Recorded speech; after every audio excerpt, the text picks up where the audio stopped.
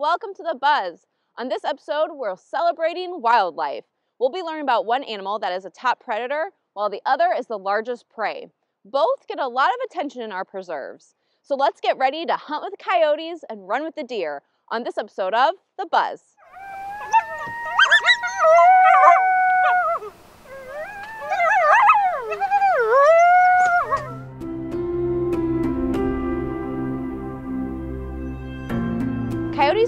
Part of our culture and our natural landscapes for a long time. The Native Americans would tell stories about the coyote, either being helpful to humans, teaching us lessons, or being a clever trickster. Today, finding a wild coyote isn't too much of a challenge, as they're pretty adaptable to be in our preserves and in our cities. However, they can be a little misunderstood, so let's take the time to learn how to care about coyotes. Coyotes are part of the canine family. They're much smaller than wolves, but much larger than foxes.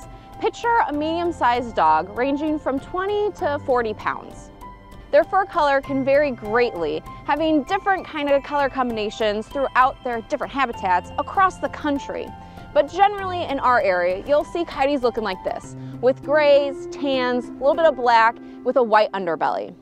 Plus, look for these pointed ears, a long snout, and yellow eyes. Their bushy tail also tells a story. One Potawatomi legend says that the tail is black because it was singed while trying to bring fire to humans. This black tip is a good characteristic to keep in mind when trying to compare it with other canines. Red foxes have the same kind of paintbrush shape of the tail, but theirs is tipped in white. Also, coyotes will walk and run, usually with their tail pointed down, whereas wolves will have their tail straight out. Coyotes can be found across North and Central America. Originally, they were only native to the plains and deserts of the western United States. However, over time, humans have displaced bigger predators like cougars and wolves, making a niche open for coyotes to fill. Now they're highly adaptable, being able to be found in grasslands, forests, swamps, and prairies. Coyotes still have the instincts to avoid people. So even in urban areas, they like to be in wooded areas with enough cover to hide. They will be more nocturnal in urban areas because they're trying to avoid humans as much as possible. Coyotes are apex predators, meaning that they're the top of the food chain with no natural predators of their own. By looking at their teeth, we can kind of get clues on what they're eating. If you look at their canines, they're super large and pointy. Even their back molars here come to a point. This all shows us that this animal is a carnivore. Studies support this by showing 90% of their diet consists of mammals. The Urban Coyote Project reports that majority of that is rodents, with deer and rabbit coming in second and third. Now when times get tough, coyotes can be opportunistic feeders, eating fruits as well. Hunting is done either in the early morning or in the late evening. And even though they may live in family groups, they usually hunt solo, unless they're tackling something bigger like a deer. First, they have to locate a rodent using their senses of smell and hearing. They have to be as sneaky as possible when they're following the trail. To make as little noise as possible, they will even walk on their tiptoes.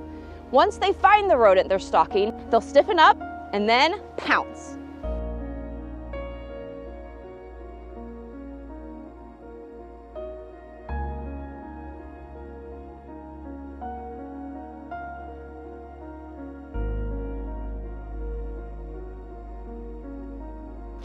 Pack of coyotes is more like a family group. They work together to defend their territory and protect the den, especially when raising pups. The pack includes five to six adults, including an alpha male and female, plus the current year's pups. Genetic analysis of coyote packs has found that all the members of the packs are close relatives except the alphas. The number of individuals in the pack depends on how much food is available in the area and how active humans are hunting and trapping. Breeding season starts in late February. Only the alpha pair will mate. Coyotes are pretty loyal to each other, mating for life, only finding a new partner if the other one dies. Come April, the female will start looking for dens. They can make their own den, but they prefer repurposing a burrow used by a raccoon, skunk, or a fox. Dens are only used to raise the pups. A litter size can range from four to seven pups.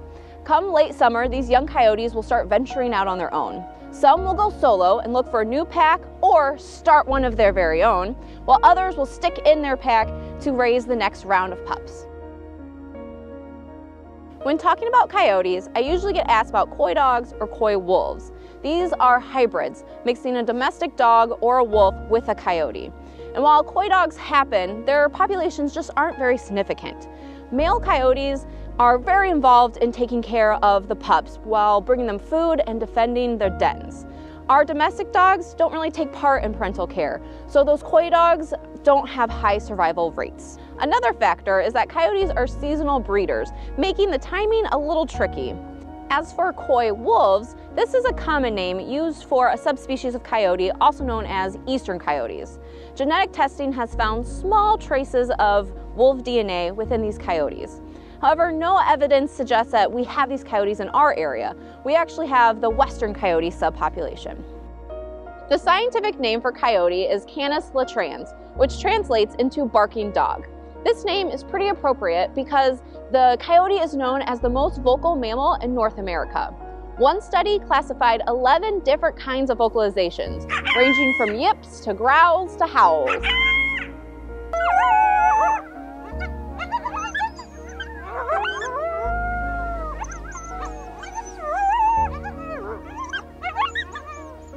The different sounds can mean different things. For example, growling can be used to threaten a nearby animal, whereas howling could be used to check in after a solo hunting trip.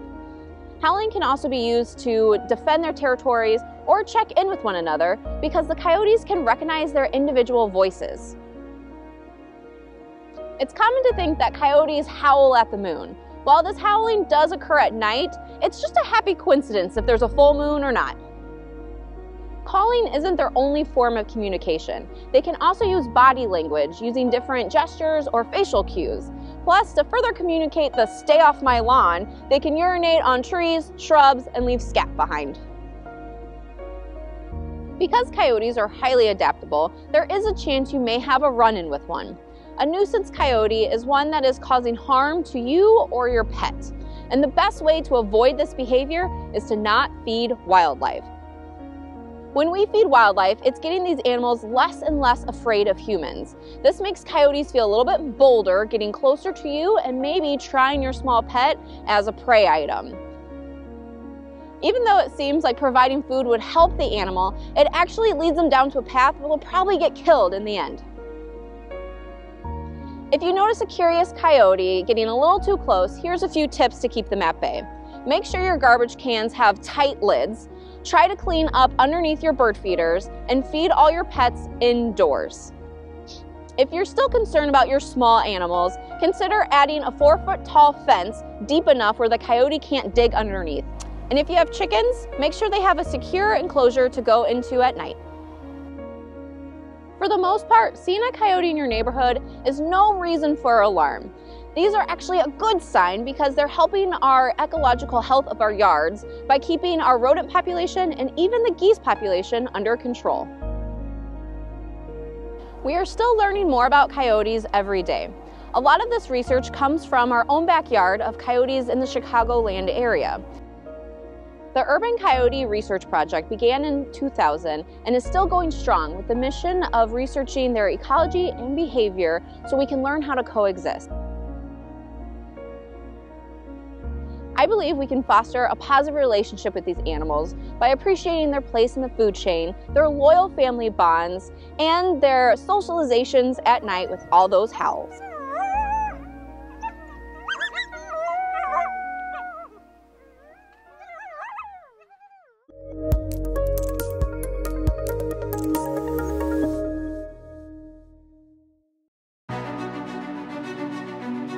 Do you want to do more to protect nature? Inspire discovery, and connect people with the great outdoors? You can when you support the Nature Foundation of Will County. This nonprofit charity raises funds through support from donors, organizations, and the business community to help support the Forest Preserve District of Will County's mission.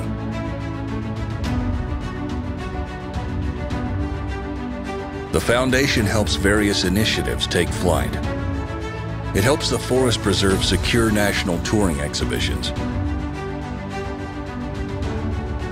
It pays for new amenities such as campground welcome stations, and bike repair stations on Will County's regional trails. It assists with the costs associated with land stewardship, which includes equipment for volunteer workdays and seeding of native plants to restore the land to its original state, which helps enhance not only your outdoor experiences, but local wildlife's as well. There's a lot more work to be done, and we're just getting started. Roll with us on this adventure and become a champion for nature so future generations can appreciate and explore everything Mother Nature has to offer. Donate today at willcountynature.org.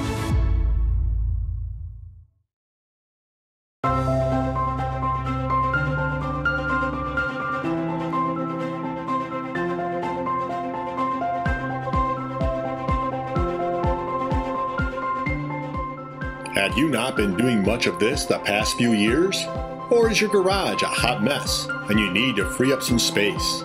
Then donate your wheels at our Recycle Your Bicycle program. Bikes of all ages and conditions are accepted. Working Bikes, a nonprofit, picks up the bikes and makes any necessary repairs. They get them back on the road, distributing the bikes both locally and abroad for people who need low cost transportation. We set a program record last fall with 147 bikes collected. Help us cruise on past that number and get more people moving on two wheels. Get more details at reconnectwithnature.org.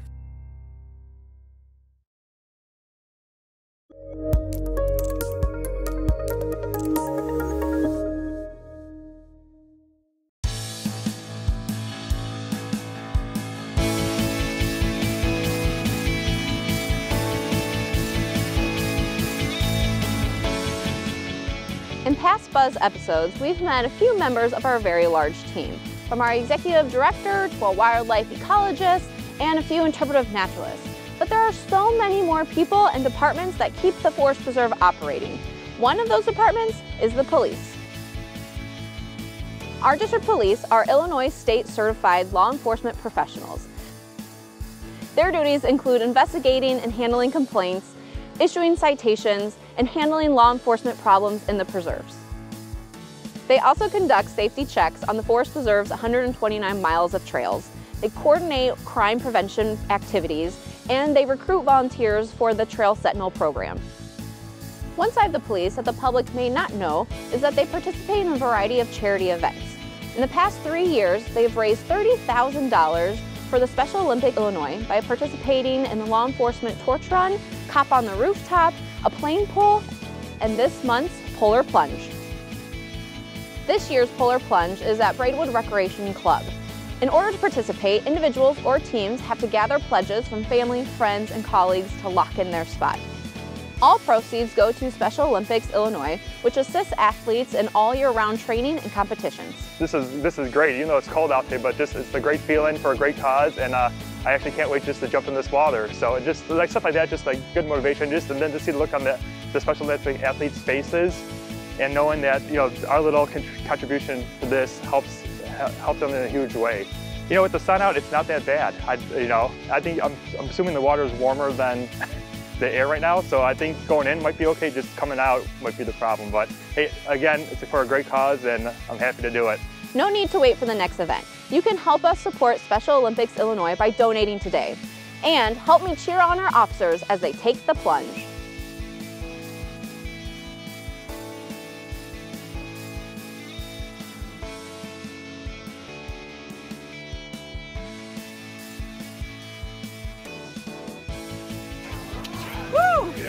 Yes. Well, how was it? Cold. Not as cold as I thought it was going to be. It's for an amazing cause, well worth it. Yeah. Absolutely.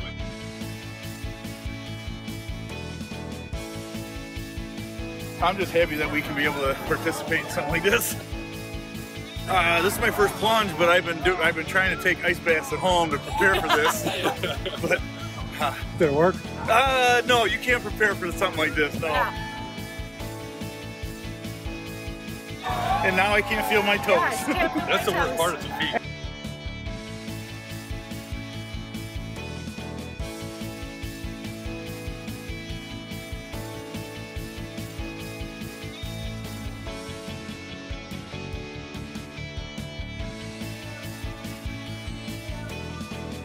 I am so proud of all of our officers who took the icy plunge and for all the day-to-day work that they do in our preserves. They are a vital part of the district, helping with our mission to protect our preserve visitors as well as our natural resources.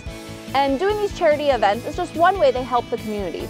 Keep an eye out for their annual National Night Out event coming this summer. And don't be shy. When you're out in the preserves and see them, make sure to say hello.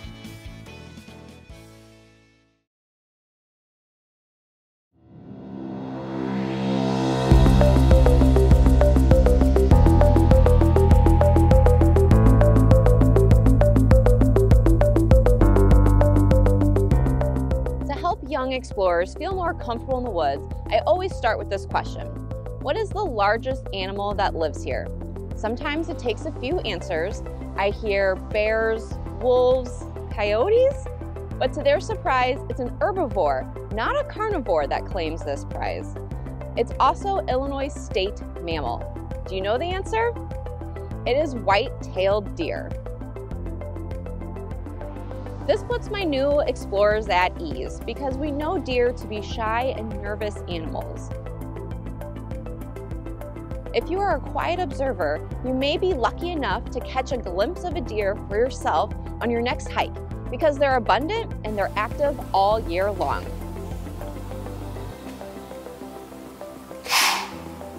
White-tailed deer are the only native deer species in Illinois. They're also the most common deer species throughout the United States.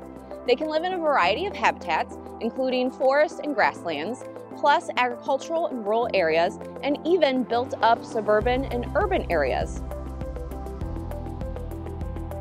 Ideally, they prefer a habitat with dense brush that's easy to move around in, plus it provides cover along forest edges for them to browse for food. Typically, white-tailed deer stand between two to four feet tall, measuring from the shoulders. They weigh somewhere around 90 to 300 pounds. Even though they're our largest animal, when you compare them to their deer relatives, they're actually quite small. Other deer species can stand about 5 feet tall, and the largest being moose, weighing in at 1,800 pounds. Next is elk, weighing in at 700 pounds. Then lastly, caribou, also known as reindeer, are about 400 pounds. Any idea on how white-tailed deer got their name? Their tails, of course. Their tail has a bright white underside, and it's not just for fashion, it can be used for communication. When the deer are feeling unsettled or startled, they'll flash this white tail, and it cues the other deer to stay vigilant. If a threat is too high, they'll start running away. This tail will stay up so that younger deer, called fawns, will be able to follow their mothers through the brush.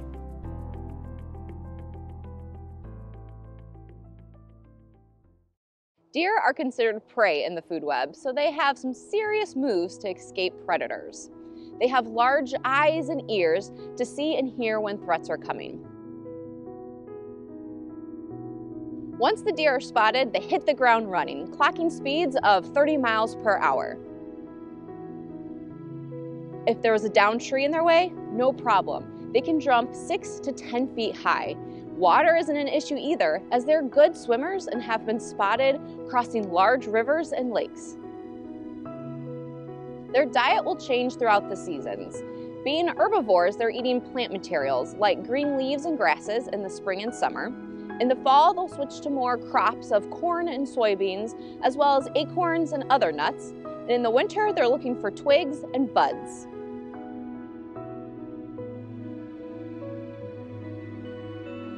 This woody diet would be hard for other animals to digest, but deer are ruminant animals with four chamber stomachs.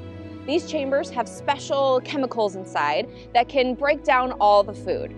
Other ruminant animals that you may be more familiar with include cattle, sheep, and giraffes.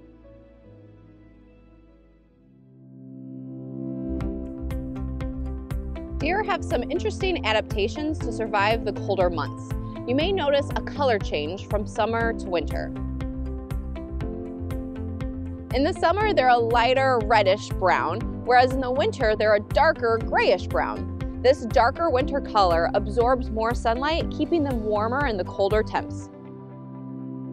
Another warming technique is trapping air in their hollow hair follicles. This is just like our building insulation, how it keeps the warmth in but the cold out. Lastly, their skin produces an oil coating the fur, making it water repellent. Just another layer of defense with the wetter conditions. Male white-tailed deer grow antlers to attract mates. The larger the antlers, the more energy it takes to grow. So when you see a nice large set of antlers, it means that deer is strong and healthy.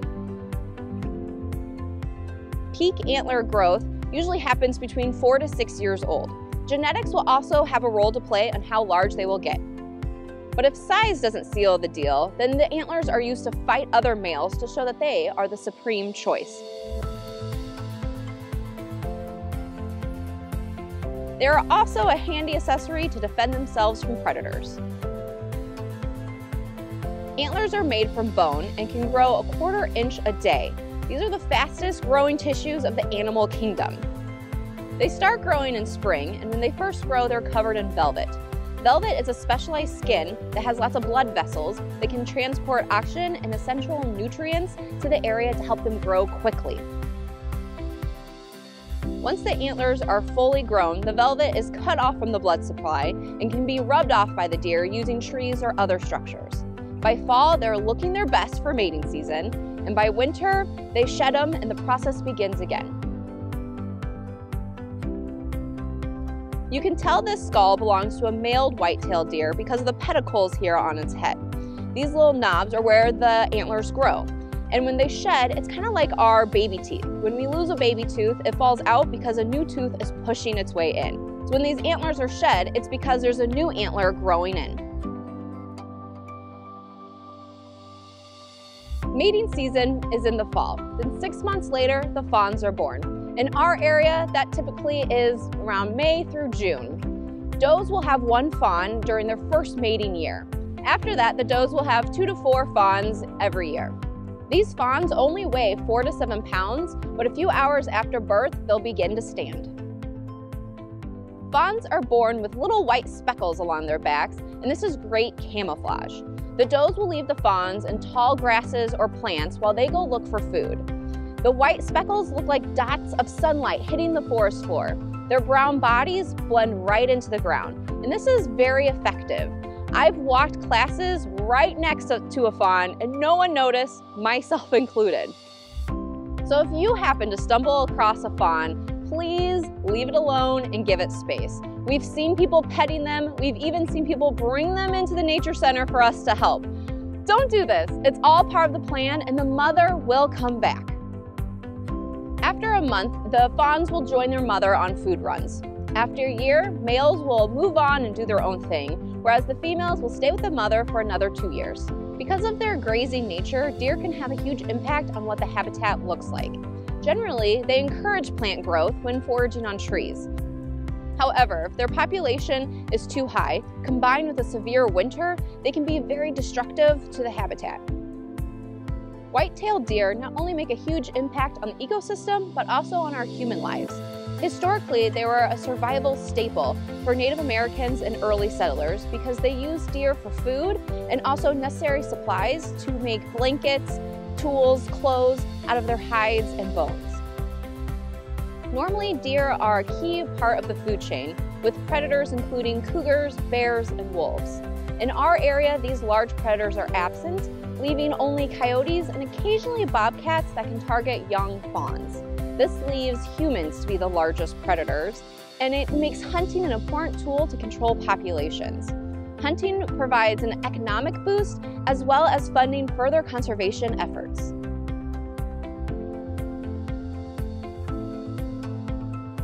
White-tailed deer live among us. They're in our preserves and maybe in your own yard. They're our state mammal and have some amazing adaptations to keep their population thriving. So next time you see one, try to stay quiet and observe. Is it a doe with her fawns? Maybe it's a buck with large antlers? Either way, it's always a treat to encounter one of these shy forest friends.